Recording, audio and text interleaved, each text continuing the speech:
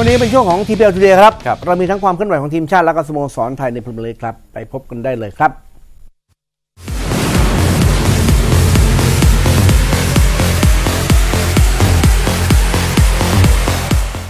นนี้ช่วงที p l Today ของเราก็มากับน้องจอยจิรพัฒน์จงกลสงเคราะห์สวัสดีครับ สวัสดีค่ะ สวัสดีครับต้องพูดว่าสวัสดีปีใหม่นะคะเพราะว่าครัเป็บนครั้งแรกของปีที่ได้เจอกันนะคะ ก็ขอให้พี่ๆแข็งแรง รวมทั้งคุณผู้ชมด้วยนะคะ ขอให้แข็งแรงร่ำรวยรวยๆแล้วก็ขอให้จอยอยู่คู่กับรายการนี้ไปนานๆแล้วกันค่ะ โอ้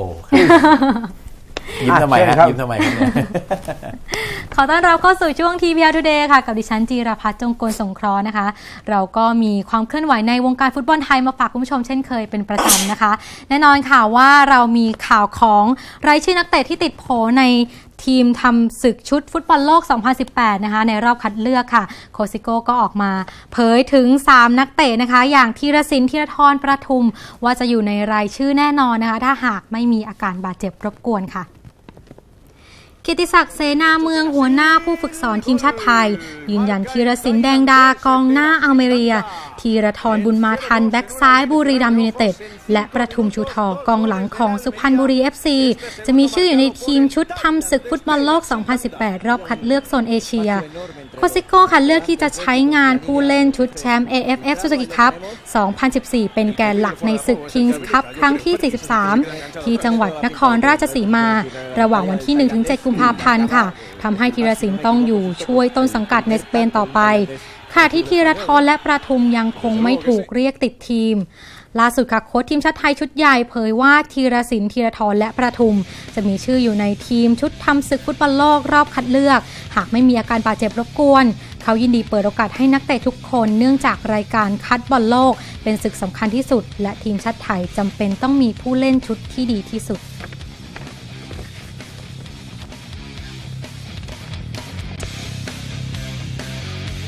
มาต่อกันที่ข่าวของบุรีรัมย์ยูไนเต็ดกันบ้างนะคะ ที่เตรียมจัดอุ่นเครื่องนัดพิเศษกับทีมชาติไทย ก่อนทำศึก Kings Cup ครั้งที่ 43 ค่ะบุรีรัมย์ยูไนเต็ดค่ะยืนยันผ่านแฟนเพจสโมสร เตรียมจัดโปรแกรมอุ่นเครื่องนัดพิเศษ โดยจะเปิดรังไอ o บ i สเตเดียมต้อนรับทีมชาติไทย ชุดเตรียมทำศึก Kings Cup ครั้งที่ 43 วันที่ 29 มกราคม ทีมชาติไทยค่ะเตรียมยกพลไปเก็บตัวที่กิเลนวิลเล่เขาใหญ่ จังหวัดนครราชสีมา ตั้งแต่วันที่ 17 มกราคมค่ะทำให้บุรีรัมย์ยูไนเต็ดซึ่งอยู่ในระหว่าง pre-season 2015 จัดโปรแกรมอุ่นเครื่องนัดพิเศษขึ้นมา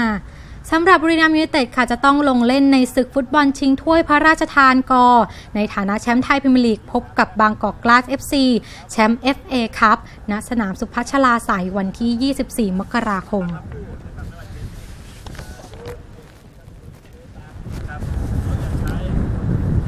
แน่นอนนะคะว่าช่วงนี้ก็จะมีข่าวการย้ายทีม เปลี่ยนทีมทั้งในสโมสรในไทยเองนะคะ รวมถึงการดึงตัวนักเตะต่างชาติมาร่วมทีมค่ะ อย่าง BC t e r o ค่ะ ก็ได้มีการดึงนักเตะต่างชาติมาร่วมทีมเช่นกันนะคะ และมีการเปิดตัวไปแล้วอย่างเป็นทางการ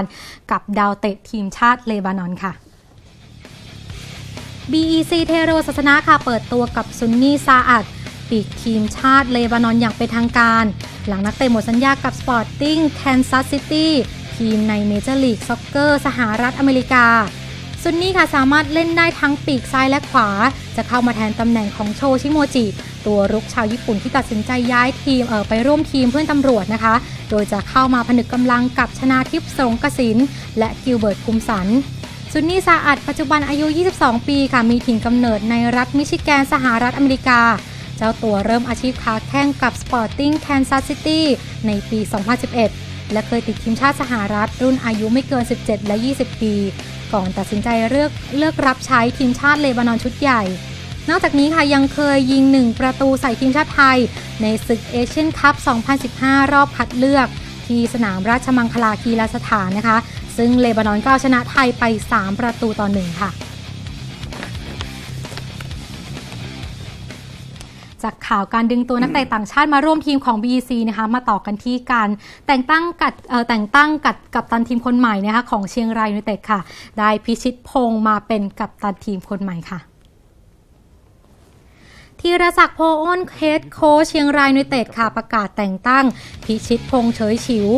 อดีตกองกลางทีมชาติไทยนะคะขึ้นเป็นกัปตันทีมคนใหม่ เนื่องจากเจษฎาจิตสวัสดิ์กองหลังมากประสบการณ์ไม่ได้รับการต่อสัญญา พิชิตพงษ์ย้ายจาก SCG เมืองทองยูไนเต็ดค่ะมาร่วมทัพเชียงรายยูไนเต็ดเมื่อต้นฤดูกาล 2014 โดยเจ้าตัวยิงไป 4 ประตู และเป็นกำลังสำคัญช่วยต้นสังกัดคว้าอันดับ 7 นอกจากนี้ค่ะโค้ชโจก็ยังแต่งตั้งรองกับตันทีม 4 คน ประกอบด้วยยุทธจักรก้อนจันทร์กฤษฎีประกอบของธนงศักดิ์พันธิพัฒน์และอานนท์สังสะน้อย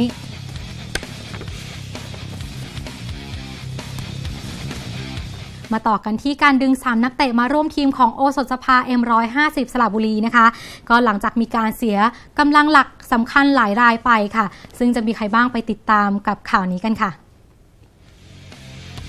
โอสถสภา M150 สระบุรีค่ะ ประสบความสำเร็จคว้า 3 นักเตะใหม่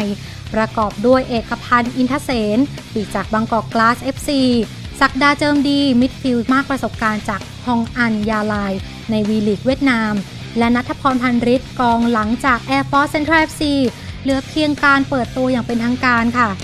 ในช่วงปิดฤดูกาลนี้โอสถสภาต้องเสียกำลังสำคัญหลายรายออกไปนะคะ อาทิโกสวัสด์ว่องไวลิขิตนรงจันทร์เสวกชนานันป้อมบุกผานและนรงวงทองคำทำให้ทีมจำเป็นต้องเร่งหาคุ้มกำลังมาทดแทน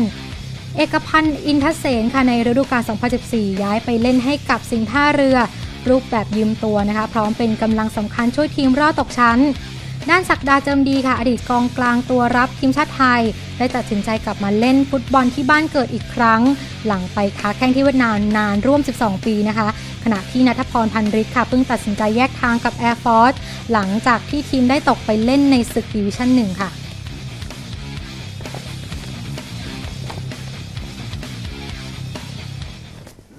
ทั้งหมดนี้นะคะก็เป็นความเคลื่อนไหวที่น่าสนใจในรอบวันที่เรานำมาฝากคุณผู้ชมกันนะคะสำหรับวันนี้ค่ะเวลาของ TPL Today และดิฉันก็ได้หมดลงแล้วนะคะ เราจะลากันไว้ด้วยความเข้มข้นของศึกดิวิชั่นหนึ่งค่ะ กับช่วงสรุปข่าวยามาฮ่าลีกวันนะคะ ขอบคุณสำหรับการติดตามสำหรับวันนี้สวัสดีค่ะ